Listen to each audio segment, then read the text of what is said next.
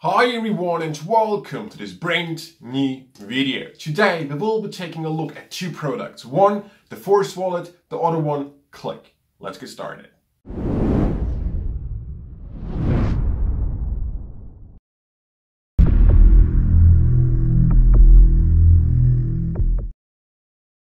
So guys, let's play a game of imagination.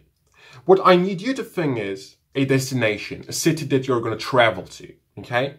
And that city is going to be a random city. Here I have like a little notebook with different cities like Zurich, Miami, Vienna, Istanbul, Madrid, Moscow, Dubai, etc., etc.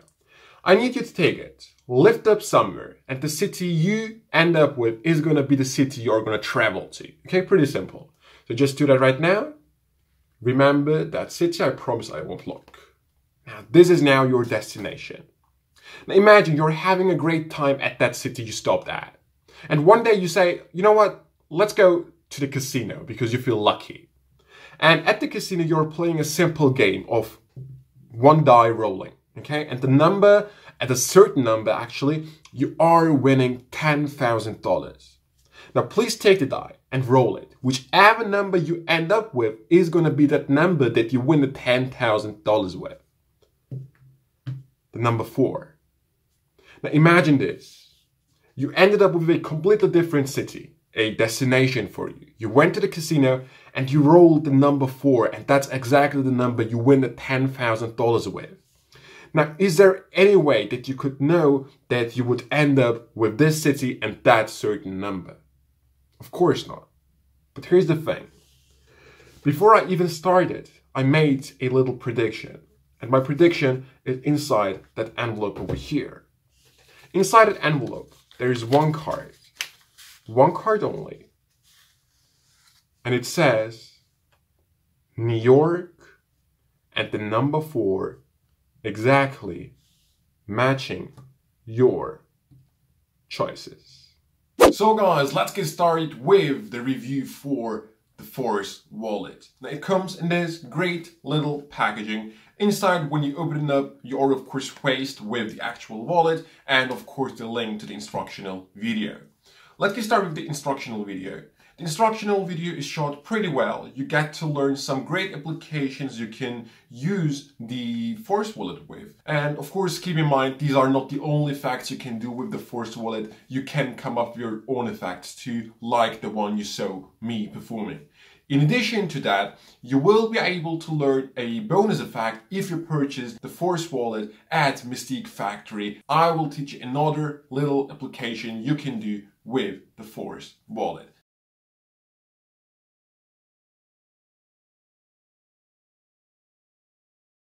Now my version over here is the close-up version. There is of course also the stage version where you can like put bigger envelopes in it. That's the only difference. The workings are pretty much the same. The close-up wallet is pretty much the same size of my regular wallet, which is pretty good, so I can use it really in my back pocket. One thing that I, however, did not really like about this effect is pretty much the name, okay? Let me put it that way. It is called the Force Wallet. However, it's not really a wallet because the only thing you can really put inside are the actual things that you will use for the trick. So there is no place for change, credit cards, or like for your money. Really, it's just something that you can use for this effect only, so you can't really use it as a everyday object. So keep that in mind before purchasing it. The quality of the wallet, however, is pretty amazing. You can see on the screen, um, it is very well made. It is very well constructed. Inside, when you open it up, there is like this little clear strip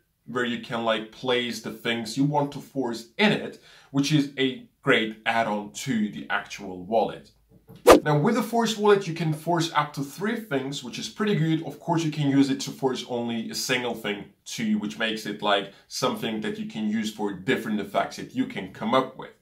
Also something um, that I like is the actual method, but the only downside the method brings with it is the fact that the wallet is not very thin. All in all, I do really like the Force wallet. It is easy to perform, it is very well built, so it looks pretty good.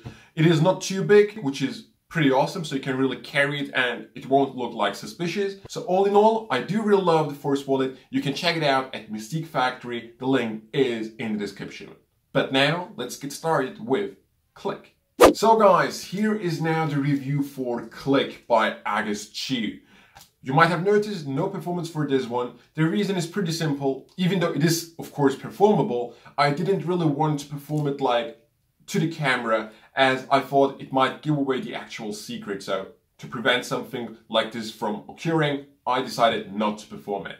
It comes in this little packaging. This is like the type of packaging I'm not used to by Agus Tjiu. This is like sort of the Mickael Chatelain style of packaging that I'm not a big fan of. But still, everything you need is in there and it is protected. Inside, you of course get the link to the instructional video. Uh, you can understand everything. It is not Agus Tjiu himself teaching it, it is someone else. I can't remember who it was. You learn really everything you need to know to perform this. Everything is covered, so not much to complain about this one either.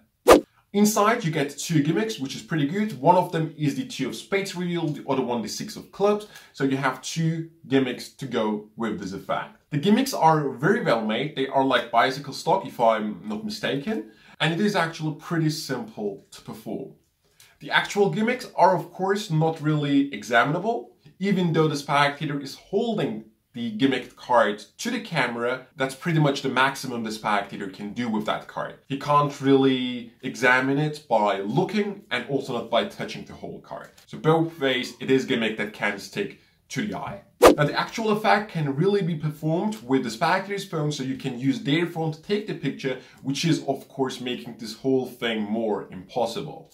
Something that you have to take care is uh, with the lightning as long as the lighting is not perfect, you will have troubles with the picture you end up with. That's the only thing that you really have to take care of. If your lighting is bad, the picture will be bad and it will be revealing something that you really do not want to happen. So as long you are not sure if the lighting is correct, don't perform this because you will end up with pretty bad pictures. So keep that in mind. The reset time with this is pretty much instant. Once you have your card back, you can perform it to someone else. Or of course, you can perform it to the same spectator as you are supplied with two gimmicks, which is pretty great. Overall, I do really like KLIK. The actual method behind it is pretty simple and it is self-working actually. And also like the build-up from having a card selected to having the spectator hold onto the card.